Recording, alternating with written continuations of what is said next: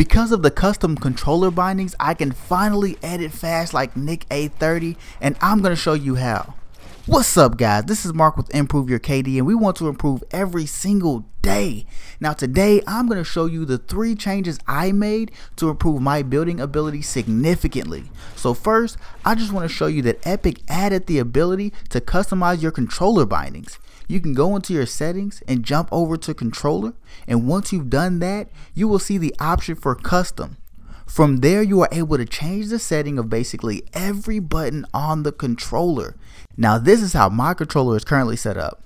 First, I turn on automatic sprint and I no longer have to use the sprint button at all. So in that case, I removed the edit option from B and added it to the L3 or the left stick button. Now I'm able to edit so quickly that I can now perform some of the cool Nick A30 build strats that we've seen him do time and time again.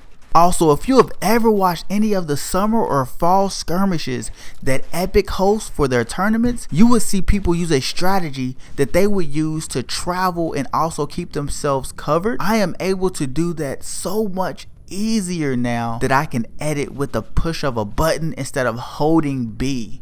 Alright, now in the comment section below, let me know what your current customized settings are because I want to know if you're doing something that actually might help me as well.